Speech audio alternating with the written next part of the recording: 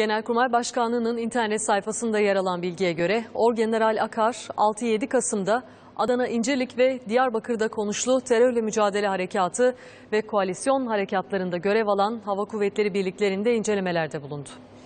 Orgeneral Akar, koalisyona katılan ülkelere ait birliklerde görev yapan yabancı personelle de görüştü ve operasyonlar hakkında bilgi aldı. Orgeneral Akar'a Hava Kuvvetleri Komutanı Orgeneral Abidin Ünal da eşlik etti.